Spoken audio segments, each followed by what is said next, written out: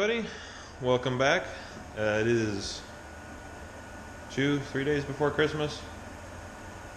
It's the Saturday before Christmas. Um, and no one's here but me today, but I want to give you an update as to where the STS Miata is at.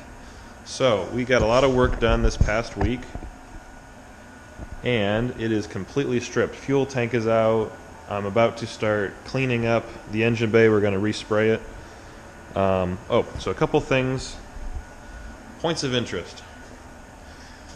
We had a rust spot here that we had to cut out, and we're going to have to weld in a little plate.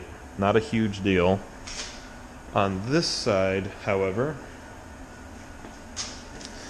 we had the classic Miata rocker panel rust. So we had to cut this out. We're going to have to weld in a new piece. We're trying to clean it up. It's through all the way down here again.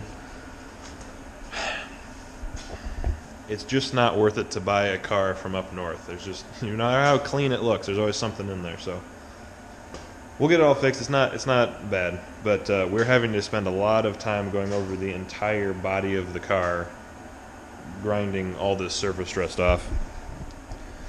If you look here, there's just these little spots of surface rust everywhere. So many, many hours with a whizzy wheel.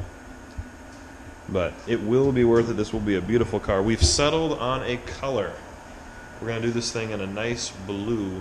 Um, we're going to do sort of a, I wouldn't call it a dark blue, but a, an intense blue with some matte black blue ghost stripes on it. That's going to be our color scheme. Um, with a, a black engine bay, so and a black interior, obviously. So it'll be it'll be pretty cool. Speaking of engines, just got the block back from the machine shop, and he did a fantastic job. So something that I've always been told. Every time you start hear someone who builds cars a lot, they say you got to go find the local machine shop that you can trust. And I've lived here for I've been in this area for like 15 years now, and just this past month found that machine shop finally, and he's 15 minutes up the road from me. I just didn't know he was there. Great guy, fantastic to work with. Um, sent him the block. The crank got uh, ground back down. Crank looks beautiful.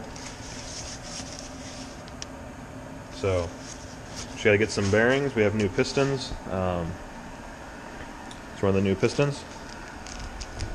We overbored it 20 thousandths, which is legal in STS. And uh, we'll pop this bad boy in there and make some power. So.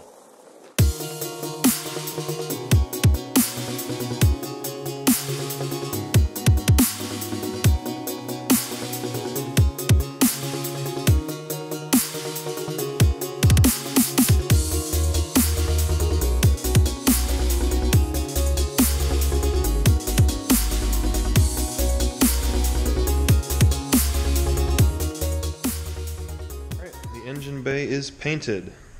I used something that I discovered recently that I really like. Um, I used bedliner paint.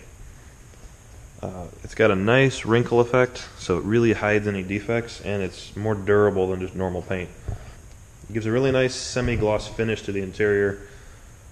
Yeah, it looks really good, so we'll move on to the rest of the body and uh, start putting this thing back together. So. From everyone here at Leroy Engineering, we wish you a Merry Christmas. Hope you have a wonderful holiday season, and we will see you next year.